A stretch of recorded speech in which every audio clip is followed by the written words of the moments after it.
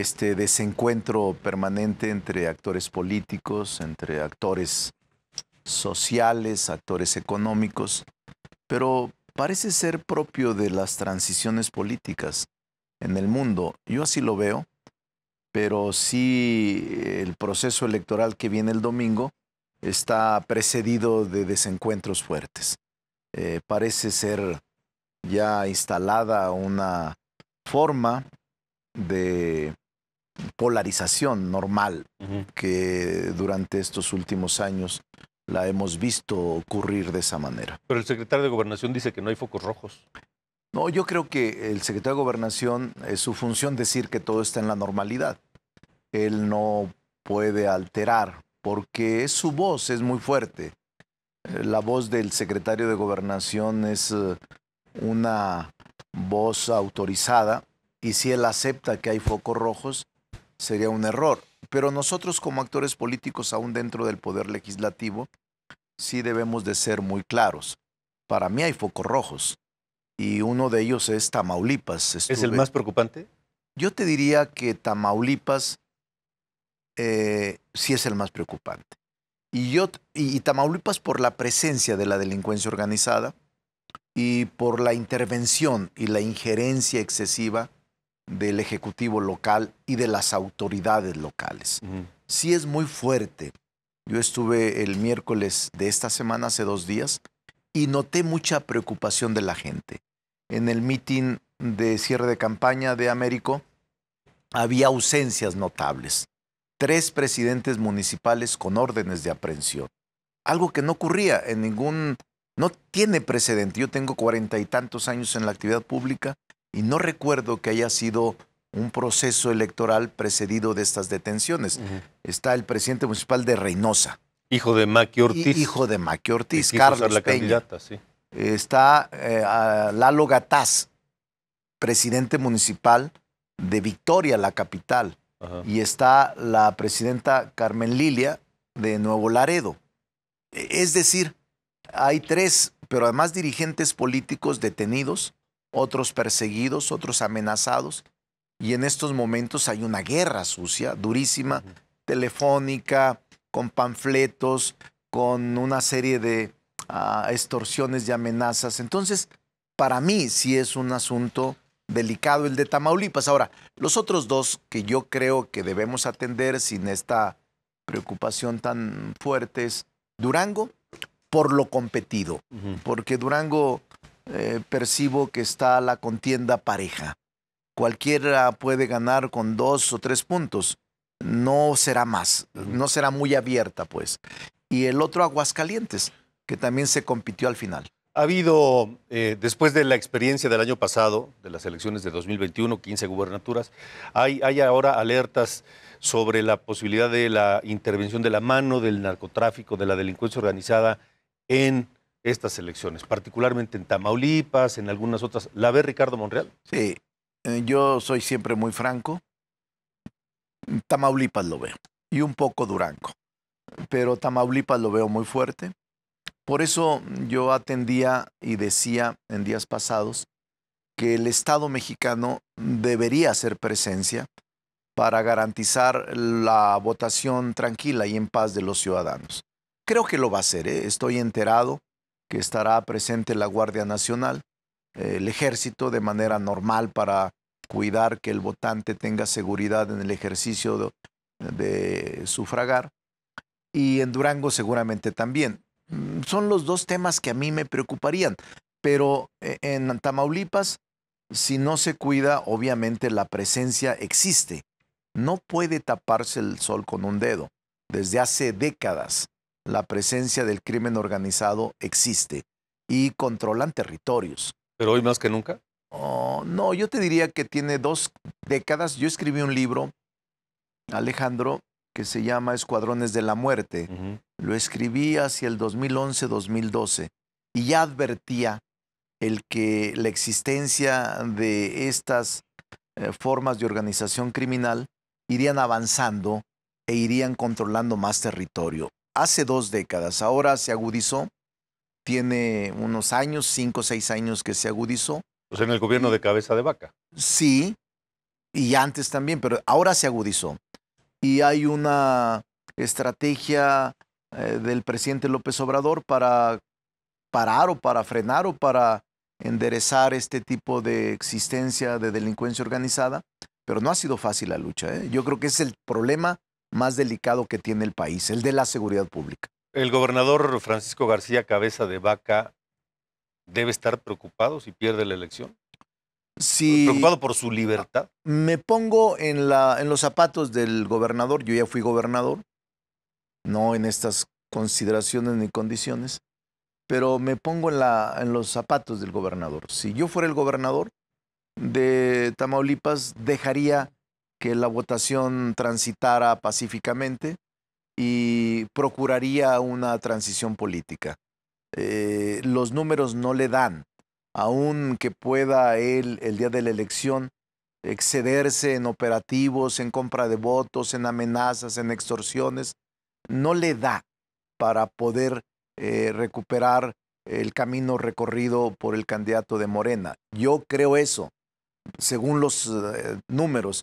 Y lo que haría yo si fuera el gobernador de Tamaulipas es procurar que la transición política se llevara a cabo eh, tranquilamente y lograr un acuerdo con el gobierno para una transición política. Un acuerdo no de impunidad, sino de transición natural y normal, porque lamentablemente los órganos de procuración de justicia, la fiscalía y los órganos de administración de justicia, igual que el órgano electoral, igual que las autoridades, están muy cargadas, Alejandro, por indicaciones del Ejecutivo. Y es el momento de lograr un acuerdo. Yo se los planteé hace 15 días, una tregua para la transición política, porque eh, Américo Villarreal, que es senador con licencia, es una gente correcta, es, no es un hombre que busque vendetta, pero ahora sus dos hijos están fuera del país, porque creo que también tienen orden de aprehensión. Dos hijos de Américo Villarreal. Dos hijos de Américo, del candidato y el dirigente de Tampico, de, Madero, y el dirigente sindical de salud, y el dirigente sindical de maquiladoras, y el dirigente sindical. O sea, todos están en un proceso difícil de persecución política. Entonces, los dos hijos de Américo tienen eh, este, este, esta persecución política incorrecta, indebida, ilegal. Entonces, no gana nada el gobernador y yo sí creo que es el momento de ponderar y él de articular qué es lo que está pasando y qué es lo que va a pasar. Un político siempre ve hacia adelante y yo creo que él debería de reflexionar en torno a lo que está pasando, porque es irreversible lo que va a suceder el domingo. Estamos a dos días. Estás a dos días, pero se puede, porque los operativos comienzan hoy. Comienzan el sábado en la noche, el domingo todo el día.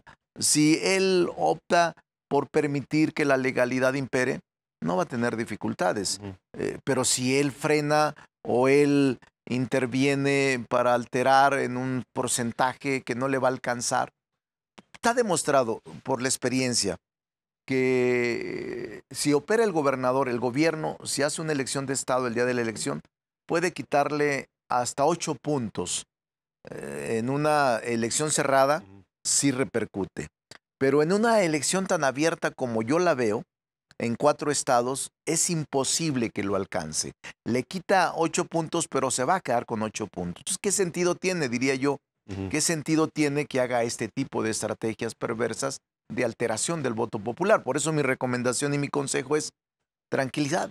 Pero es que parece que todo el ambiente está crispado, ¿no? Parece que este, todos contra todos, este, las grabaciones contra, o bueno, las grabaciones de eh, Alejandro Moreno, él dando a conocer otras grabaciones, es decir, se están agarrando a, filtraciones. que, Se, que, se, estaba perdiendo la confianza y la honra también. Y entonces yo les preguntaría ahorita, hablando de toda esta política y todas las cosas detrás de cada uno de los políticos que están ahí, el crimen organizado, ¿qué podríamos esperar la gente? O sea, la gente en Tamaulipas, la gente en Durango, ¿qué es, qué es lo que viene para ellos, porque oímos todas estas cosas, pero es, ¿y yo qué espero, no? ¿Por quién voto? o sea, no por quién voto, pero ¿qué me va a pasar a mí como pueblo, como sí, gente? Yo, yo diría que como población tenemos que renovar la esperanza. Yo sí creo que estados como Tamaulipas pueden regenerarse. Es un gran estado, tiene todo, agricultura impresionante, agua, eh, su gente. Es un grandioso estado. La esperanza no hay que perderla, a pesar de que hay desencuentros o confrontación en este momento. Si la gente sale, va a decidir la gente. Eh, no hay que tener temor, no hay que tenerle miedo a nada. Decía Roosevelt, hay que tenerle miedo solo al miedo mismo. Entonces hay que salir y hay que votar por quien quieran, pero voten, ejerzan su derecho al voto tanto en Durango como en Tamaulipas, donde yo veo focos rojos y, aguas calientes, pero también los otros, Hidalgo, Oaxaca, Quintana Roo, donde yo veo más abierta, según las encuestas, más abierta la diferencia entre el primero y el segundo lugar. Y que no es fácil no tener miedo, ¿no? Perdón, pero es fácil, no es fácil no tener miedo, pero hay que salir a votar para ejercer nuestro porque, derecho. Porque entonces, si nosotros con temor no vamos, o el temor nos obliga a no salir de la casa, vamos a permitir que se salgan con la suya los mismos. Ni más de lo mismo, ni los mismos. Creo que esa es una gran conseja y yo me parece que es un momento clave para la vida del país. Yo sí percibo que hay un proceso de transición política. Eh, no está fácil, no está nada fácil, pero nosotros respaldamos al presidente López Obrador en este proceso de transición política que desde 2018 está viviendo México. Dice el senador Ricardo Monreal, no hay que perder la esperanza. ¿Sigue teniendo esperanza en que habrá un proceso democrático en Morena para elegir a su candidato presidencial? Este, tú y Paulina son muy vivos como buenos entrevistadores. Te vas de, una, de un paso a otro, pero eh, en la misma hilación de ideas. No, yo, yo sí creo que, yo ya lo dije, tú lo habrás registrado aquí, ustedes lo habrán registrado. Yo dije que una vez que se emita la convocatoria de Morena voy a participar. Mm, no creo que hasta ahora haya habido piso parejo, pero yo soy de las personas que ha luchado contra corriente toda mi vida. Nunca me ha sido fácil nada. Eh, hoy tampoco. Y soy del club de los no mencionados más bien el único. soy, soy un club, pero soy el presidente, el secretario y el tesorero de ese club. Entonces, este, pero lo veo con, con calma, con mucha claridad. Una de las eh, eh, beneficios o características que yo podría señalar es que los años de experiencia política en la actividad pública me permiten ver con mucha claridad lo que está pasando en el país. Entonces, asumo una actitud ecuánime, prudente, cuidadosa por los acontecimientos que está viviendo México dentro de Morena y fuera de Morena. Eh, no son fáciles, eh, Alejandro, pero les puedo decir a la población que estoy decidido a participar, aun cuando no sea de los referidos, mencionados o señalados por el presidente, pero me asiste la razón histórica y la razón moral. Tengo 25 años al lado del presidente luchando juntos han hecho acuerdos. Muchos. Han hecho pactos. Muchos. Y, usted, doctor Ricardo Monreal, dijo, refiriéndose a esto de las grabaciones y Manuel Velasco, Alejandro Moreno, que hay que honrar la palabra. Sí. Y, Andrés Manuel López Obrador y Ricardo Monreal se comprometieron. Sí. Sí. ¿Sigue confiando en que honrará la palabra? Sí, sí, yo creo que el presidente es demócrata. Pero volviendo a lo de Alejandro que decía también Paulina, Alejandro y Manuel Velasco, yo los conozco a los dos desde hace años. Y a mí me sorprende mucho que Alejandro Moreno haya grabado a Manuel Velasco. Porque además son compadres, son amigos de muchas aventuras políticas. Eh, porque ahí se perdió toda la confianza y el honor entre políticos la palabra es clave para nosotros. Ya no tanto, ¿eh? no, en los nuevos políticos y en algunos políticos se ha perdido, no un poco, un mucho. Sí, sí. Pero todavía habemos quienes conservamos la palabra. Y a mí no me gustó eso, porque dejaste mal situado a tu eh, amigable componedor. Yo he dicho que lo que estaba haciendo Manuel Velasco es tratar trataba de resolver un diferendo entre el partido y el gobierno para buscar la solución de la reforma eléctrica. Y trató de buscar paz y sacó guerra, porque finalmente nadie cree que no haya sido grabado sin la autorización. Eh, yo sí creo que lo grabaron sin su autorización. Conozco a Manuel Velasco, es un hombre eh, íntegro, un político joven, pero con muchos años de vida política y de recorrido en la vida. Y también conoce a Alejandro Moreno. Los conozco a los dos. Bien, bien. Y no deseo que haya persecución política contra nadie.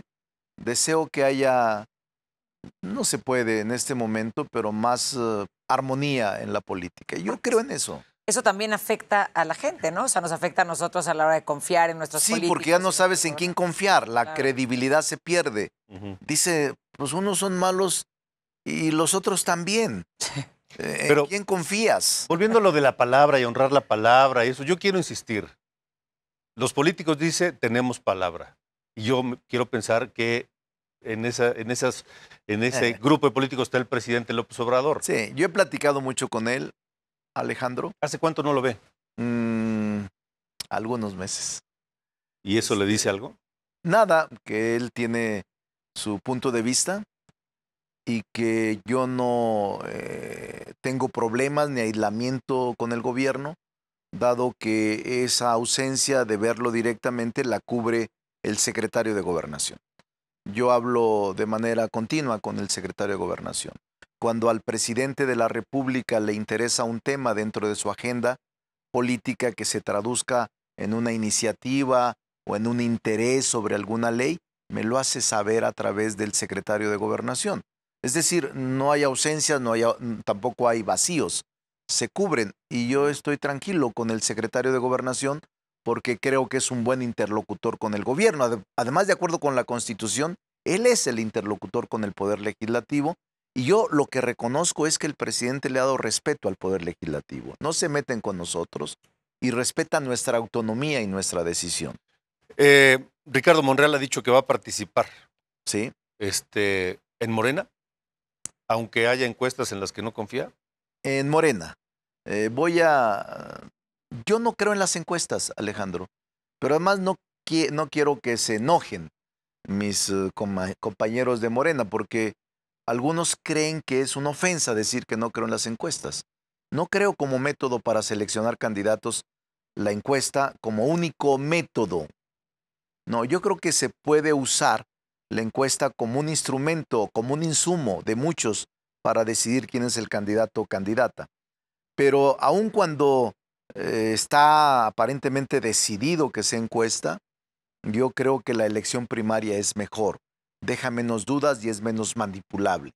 Entonces yo voy a insistir, pero voy a participar en Morena, voy a luchar dentro de Morena. Por eso les digo a los compañeros de Morena que no se crean que estoy buscando otra cosa, otro partido. No, ¿Descartado eso? Quiero luchar. ¿Cuál es mi límite en luchar en Morena? Mi límite siempre ha sido la dignidad. No puedes rebasar eh, tu actitud, tu posición, tu entereza sobre la dignidad. Eso no. Pero ya cuando no descarta participar en otro no creo. fuera de Morena. Digo, en este momento diría no hay forma. Eh, por eso estoy luchando en Morena. E, este, y mi límite de permanencia es la dignidad. Obviamente si te pisotean y si te insultan, pues digo, es como en tu casa cuando... ¿Tú cuántas veces te has casado? No, una, afortunadamente, una. Es que tengo amigos que he ido como a tres bodas y a la cuarta ya no pude ir. Pero, pero, pero es como en tu casa, si no te quieren, este, también no tiene ningún sentido. Tus amigos. No, yo creo que hay que luchar dentro de Morena. Y mientras haya un porcentaje amplio que quiera luchar conmigo dentro de Morena, vamos a lograr eso. No puedo dejar ir al senador Ricardo Monreal, un hombre tan cercano. Yo, digo, le he dicho públicamente, que en, en, el círculo cercano del presidente López Obrador hay dos políticos profesionales, dos. Uno es Marcelo Ebrard y el otro es Ricardo Monreal. No por, no por nada confío en ustedes dos para ser sus pilares en la campaña de 2018. Eh, en ese sentido, ¿Qué opina Ricardo Monreal de las declaraciones de Porfirio Muñoz Ledo donde dice que el presidente López Obrador tiene acuerdos con el narcotráfico? Esta es una buena pregunta. La voy a contestar porque te respeto mucho. Eh, eh, López Obrador, Andrés, ha sido un dirigente social que se ha formado en la lucha. ha sufrido, junto con muchos de nosotros, persecuciones, estigmatización, incluso desprecio. Pero el decir que él está en contubernio o en complicidad con el narco es una exageración. Yo estimo mucho a Porfirio. Es más, eh, hablo con él continuamente. Y yo creo que Porfirio está sentido. Y eso lo hace hablar. Eh, el trato que se le ha dado por Morena no ha sido el correcto. Y yo te diría, hace rato lo platicábamos aquí con Ángel y con Franco, antes de ah, llegar aquí. Tres eh, pasajes que yo creo que lo han lastimado. Uno, que Porfirio no fue reelecto como diputado, cuando es una institución. Me parece que sería, hubiera sido muy bueno que se religiera como diputado, porque nadie puede negar que es un precursor del el proceso democrático que México vive. Nadie puede negar que es uno de los iniciadores de esta etapa que ahora eh, estamos viviendo. Y no se le permitió. Segundo, Porfirio Muñoz Ledo, cuando ya no fue reelecto diputado federal, intentó ser director de la carrera parlamentaria en la Cámara de Diputados, que es una institución nueva, con el propósito de formar cuadros en el Poder Legislativo profesionales. Y tampoco pudo acceder, por una o por otra razón, lo que haya sido. Dos, tres, le habían dicho que iba a ser embajador en Cuba. Él mismo lo dijo, que tenía ya la invitación, la invitación y estaba preparando todo el estudio y la forma de actuar en la embajada y tampoco se logró. Entonces han sido como agravios acumulados, que lo que está haciendo Porfirio es una especie de expresar su enfado o expresar su desacuerdo. Pero ya lo había, ya había dicho cosas importantes el maximato, el incumplimiento de la 4T, el desacuerdo con la política internacional, pero no había dicho cosas tan fuertes. Lo es, un, es, otro grado. Para mí, Porque este expresar es muy su fuerte. enojo con una cosa así es fuerte, Sí, ¿no? es muy fuerte, pero no hay elementos de prueba. ¿Es una exageración? Para mí sí. ¿O es una Es una- falsedad? No, es una falsedad. Porque los que conocemos a Andrés desde hace 25 años, yo lo conozco, lo he acompañado en la lucha política desde hace 25 años, eh, no damos crédito a eso. Es falso. Es falso. Él no estaría nunca en un acuerdo con el crimen organizado. Nunca. Eh, él cree, es humanista. E- Él es un hombre conciliador en el tema de la sociedad, ha querido reconstruir el tejido social, recobrar la base social que tiene el crimen organizado a través de políticas públicas, pero no, nunca un cómplice. Eso te lo garantizo y te lo aseguro, te doy mi palabra. Entonces yo creo que Porfirio, ahí lo digo con todo respeto, exageró.